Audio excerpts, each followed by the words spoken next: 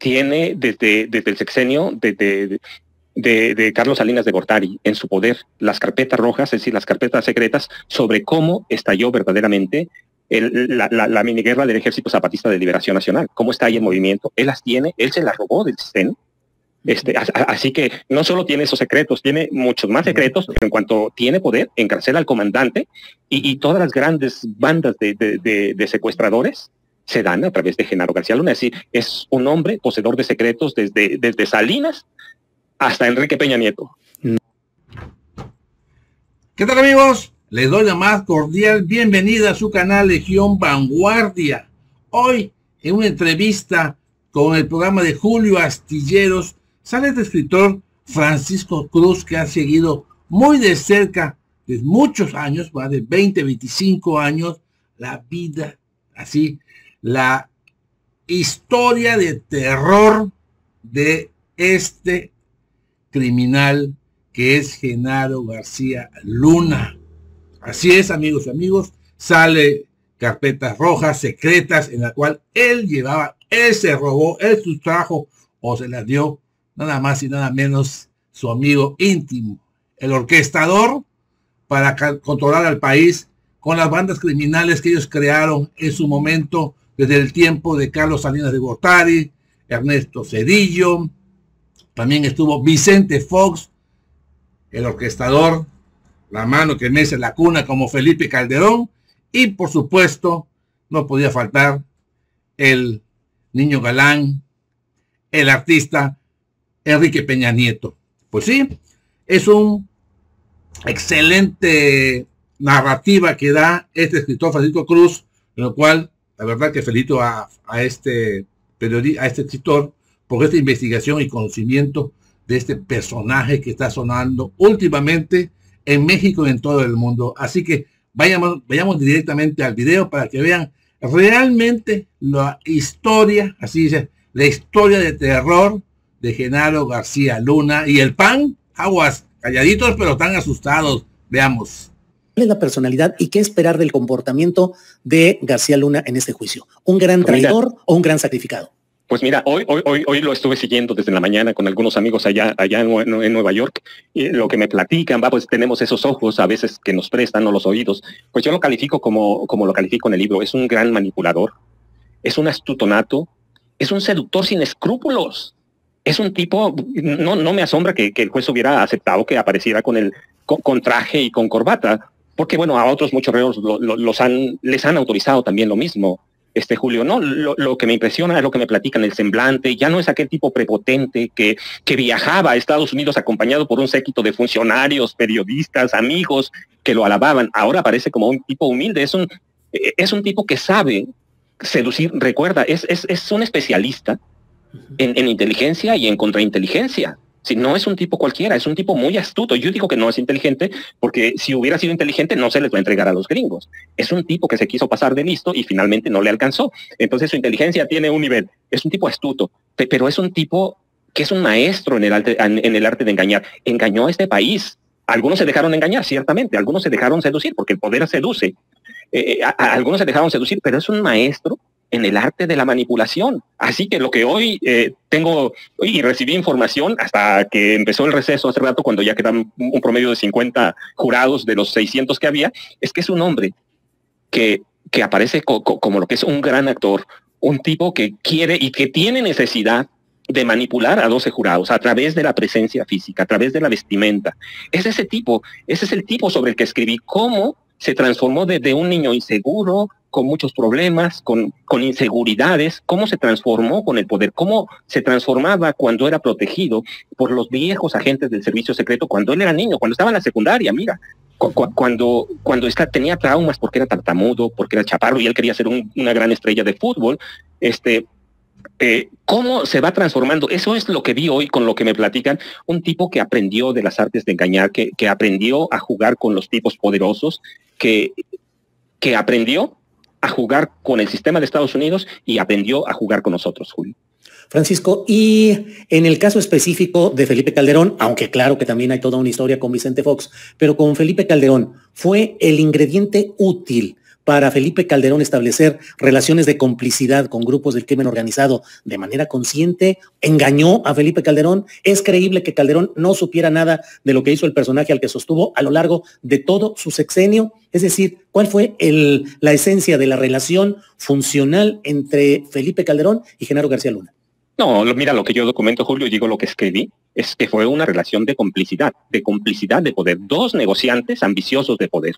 ¿sí? Eh, uno complementó al otro. Felipe es un armamentista, Felipe es un hombre sanguinario, porque lo vemos en las tanquetas del, ejército, lo vemos en las órdenes que imparte para, para declarar una guerra, para legitimarse, y, este, lo vemos como, como un hombre, como un personaje que no podía por sí solo llegar a la presidencia de la República, y con lo astuto que es Genaro García Luna, eh, eh, en 2005 descubre que, que, que, el candidato de Fox no funciona, que Krill es un político muy oscuro y descubre y le entrega información a, Felipe Calderón. Y ya hay este, historias de que él lo proyecta para la presidencia. ¿Cómo? Primero, pues infiltrando a todos los grupos de, Andrés Manuel López Obrador o a todo el López Obradorismo. Y, y esto amparado también o protegido por una campaña sucia este, por una guerra sucia contra Andrés Manuel López Obrador. Entonces hay una relación de complicidad, no solo le entrega, le pone al servicio de la campaña de Felipe Calderón y Hinojosa, todos los servicios de inteligencia de la Agencia Federal de Inteligencia que manejaba él y, todo su grupo, Carlos este, Palomino y Ramón Pequeño García. Hay toda una complicidad entre los dos. Hay una necesidad de negociar con el poder y de servirse con, el poder. Y sí, a través de de Genaro García Luna, tiene, tiene Felipe Calderón otra visión de lo que es este país, otra visión de cómo, de cómo hacer muchos más negocios. Sí, tiene esa visión, pero no, como un subordinado, sino como un igual. De tal forma que, uno compra las armas y Genaro García Luna se convierte en Dios, decide a quién matar y decide quién debía morir. Y, mira, es que Genaro García Luna había tenido unos maestros excelentes, Wilfrido Robledo, Wilfrido Robledo Madrid, Jorge Tello Peón. Sí, habían lo habían enseñado las artes agentes del servicio secreto. Entonces hay una relación de complicidad. Es, eh, yo lo que documento es que por primera vez cuando Felipe Calderón Hinojosa, la Marina cede el poder de, un grupo élite de marinos que eran poco más de 2.000 o 2.000, este, para que tomen por asalto prácticamente el Congreso de la Unión que sesionaba en San Lázaro y, hagan entrar a Calderón por la puerta de atrás y lo hagan presidente, prácticamente lo hace presidente, así que hay una relación de complicidad en la compra de armas, en casos uh, directitos de corrupción, yo recuerdo algunos que son incluso chuscos, sí, como aquella pistola detector molecular de drogas, ah, lo llamaban. Claro, sí, sí. que, se roban 50 millones de dólares. 50 les costó, 50 pagaron. Hay casitos y, casos que, que obvió no solo Fox. ¿Recuerdas este el caso de, de Ramón Martín Huerta que había caído en un, yo digo que es un atentado, porque además así lo documento, un atentado en, este, en un helicóptero que le cuesta la vida en 2005 a, Ramón Martín Huerta. Y, y este, de Seguridad Pública. En claro, sí, claro. Y, lo documento a través de capos del narcotráfico, que ya sabían que iba a morir ese día el secretario de Seguridad Pública y sabían que Felipe Calderón orquestaba el atentado y que, en el, y que en el helicóptero viajaba el comisionado de la Policía Federal Preventiva, José Antonio Bernal, visitador de derechos humanos. ¿Sí? Y que, pero que después se pasó por algo, recuerdas, y eso es bien importante, mira, porque a veces la gente lo olvida. Ese día hay el atentado, hay todo, se muere Ramón Martín Huerta, ya lo saben a dónde va, iba, viajaba al Moloya a una, a una ceremonia, pero ese mismo día, ¿recuerdan? Eh, ¿Recuerdas? Liberan bueno, a un rumano que había sido, había sido una estrella de fútbol y, y, era el técnico de Cruz Azul. Y que era un caso que conmocionaba, lo liberan y recuerdo que le entregan la nota a Canal 13 y se hace un escándalo. Entonces, con eso matan el atentado a Ramón o lo ocultan a Ramón Martín Huerta. Entonces yo, y, Fox lo pasa, pero luego Felipe Calderón lo sabía. Lo sabía, sabía que, este tipo controlaba las bandas de secuestradores desde la época de Cedillo. las grandes complicidades, sí, ciertamente Calderón está en la mira, pero, pero Genaro García Luna tiene desde, desde el sexenio, desde, de, Carlos Salinas de Gortari en su poder las carpetas rojas, es decir, las carpetas secretas sobre cómo estalló verdaderamente la, la, miniguerra del Ejército Zapatista de Liberación Nacional, cómo está ahí en movimiento. Él las tiene, él se las robó del CEN Este, así que no solo tiene esos secretos, tiene muchos más secretos. Él, él sabe cómo desde Cedillo se formaron las grandes bandas de secuestradores en este país. Cuando Cedillo le pide combatir a la del Mocho Orejas, ¿recuerdas? Este, le pide, no, no, finalmente no lo puede hacer porque es un comandante del Estado de México el que captura al Mocho Orejas, pero en cuanto tiene poder, encarcela al comandante y, todas las grandes bandas de, de secuestradores se dan a través de Genaro García Luna. Es decir, es un hombre poseedor de secretos desde, desde Salinas hasta Enrique Peña Nieto. Mm. la gente lo olvida, pero en el, sexenio de López Portillo todavía hay registrados 30 vuelos de la muerte. 30. Con al mínimo 10, 10, 10, 10 paquetes, porque así llamaban a, los estudiantes, insurgentes, guerrilleros, como quieran llamarles, pero así los llamaban, como paquetes. En cada vuelo iban 10 paquetes, 300 desaparecidos en el Océano Pacífico desde Puerto Marqués, desde la base aérea militar en, en Puerto Marqués. Entonces, no, mira, sí, siempre han tenido algunos presidentes, muchos, la necesidad de tener una mano negra criminal que les haga el trabajo sucio. Calderón, ¿para qué, para qué lo usa? Pues tenemos la, la, guerra que estalla luego, luego en diciembre de 2006. Recuerda, ¿cuántos culpables hubo en el Michoacanazo? Ninguno. Y nos olvidamos que al lado de, de, Michoacán también estaba en Hidalgo. Y no hay ninguno. Y luego encarceló a más de 10 mil personas con aquel aparato detector molecular que funcionaba con, con ondas cerebrales. A más de 10 mil personas. Es decir, necesitaba Felipe Calderón algo para legitimarse. Y se legitima, que nunca se legitima, pero bueno, lo intenta a través de esa guerra, porque él lo dice primero, no lo decimos nosotros.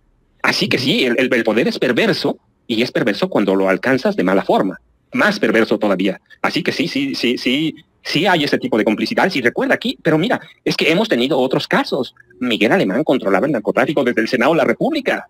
Interesantísima esta entrevista, la verdad que aquí Francisco Cruz ha sido muy explícito en cuanto a ese terror espeluznante que llevó la manera en que manejaba Felipe Calderón, con Genaro García Luna, todos los atracos, todos los grupos criminales que aquí es impensable que este expresidente aún se gloria diciendo que es inocente y que hagan a partir de 2012 final su gobierno, lo empiecen a investigar. Claro, quiere que lo investigue en el periodo de su administración.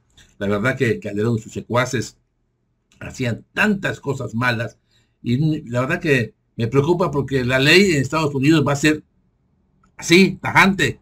Veremos unos resultados que todos los mexicanos esperamos, una cuestión legal y legítima contra cada uno de ellos, de estos actores, de estos personajes que tanto daño hicieron a México.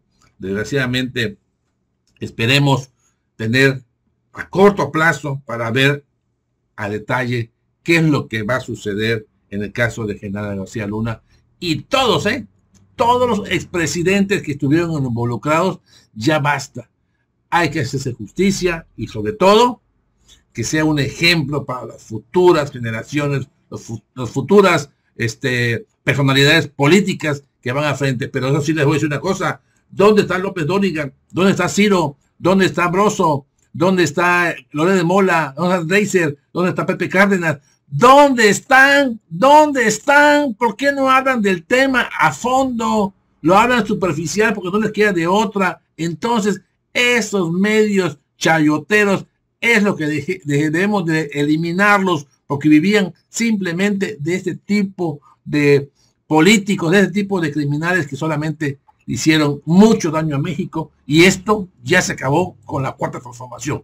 Yo aquí finalizo amigos y amigas. Yo les invito a que compartan esta información. Estos cada día se ponen mejor y les estaremos dando puntos y señales de cada avance del juicio político contra Genaro García Luna. Y por supuesto también los invito a que me regalen su poderoso like y se suscriban a su canal Legión Vanguardia. Les saludo a su amigo Francis. Nos vemos en una próxima emisión. Dios.